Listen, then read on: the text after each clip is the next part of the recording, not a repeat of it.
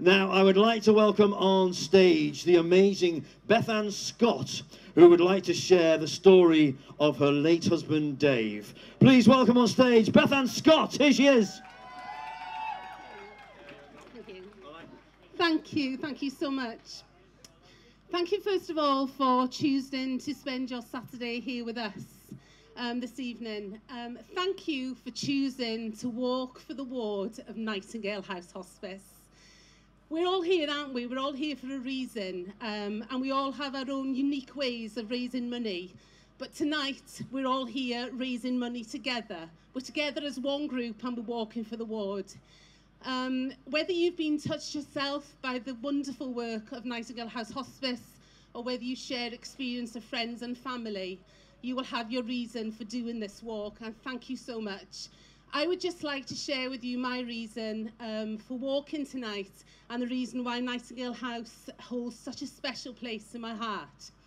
So back in 2016, my lovely husband um, to be at the time, Dave, was diagnosed with cancer of the esophagus. We'd come back off holiday, David presented no symptoms at all. Um, we'd gone to the Maelor and we were told there and then that Dave needed to have a course of chemotherapy and he needed to start that treatment in three weeks.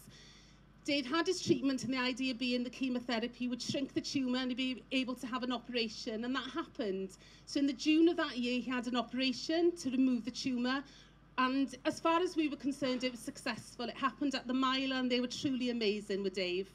In the September, Dave was due to go back to work, um, but then he started to experience headaches. I took him back to the GP in Rose, in the village that we lived, and um, the GP referred us back to the consultant at the Myla. Dave had a scan and the next day we were given the results. And we were devastated to find out that Dave had a brain tumour. He had a secondary tumour in the brain. We were told we would need to go to Walton Hospital and we went to Walton Hospital and Dave had his brain tumour removed. He had 30 rounds of radiotherapy in the November of the same year that he was diagnosed and we had a wonderful Christmas together, we really did on the 9th of January, and I can picture him now, it's his birthday, and we were sitting in Foosies in Llangollen, actually, and Dave was drinking coffee, he was eating at lunch, and he looked a picture of health. And the following week, we were due to go back to Ysbyty Glenclwyd for Dave to have some results of a routine scan. We got to Ysbyty Glenclwyd, and they said that everything was contained, it was just a standard um, result, and we would just keep on monitoring. The following week, I took back, Dave back to Ysbyty Glan Clwyd because he was having pain in the back of his neck. Dave had an MRI scan and we were told then that Dave's cancer had spread to his spine. And at that point, they told us that Dave had between two and six weeks to live. And you're given that news and what do you do? What, what do you do? You, you try to take it all in, and you can either decide to go home and you can watch that clock ticking and you can count the days down or you can choose to do something else. And we had this real will. We had this real will that we wanted Dave to live. And I really believed it was that that led us to Nightingale House Hospice.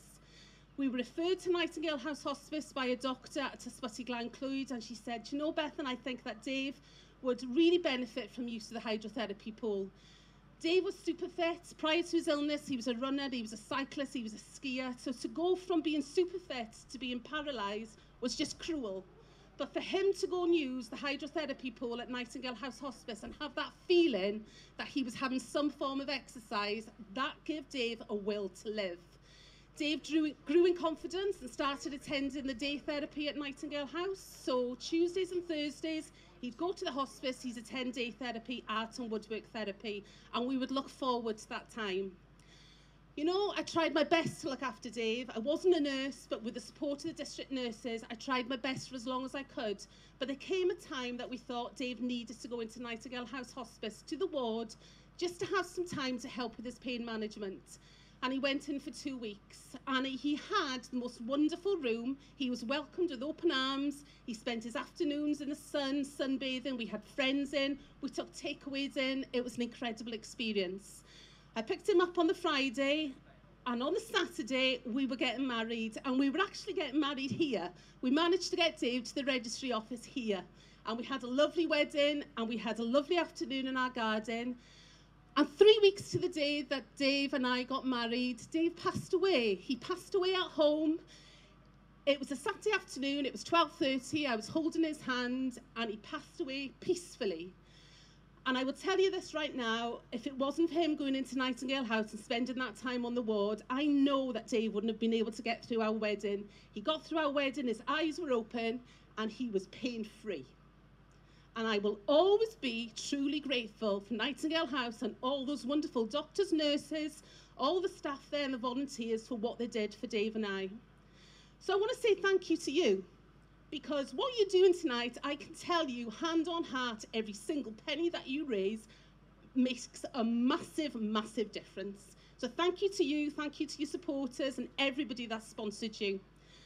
And I want to finish with this by saying whether you're doing the 10 mile tonight or the 10k, if it gets tough, just remember. Remember this a journey shared is a journey enjoyed. So please go out there and enjoy yourself. Well done and thank you.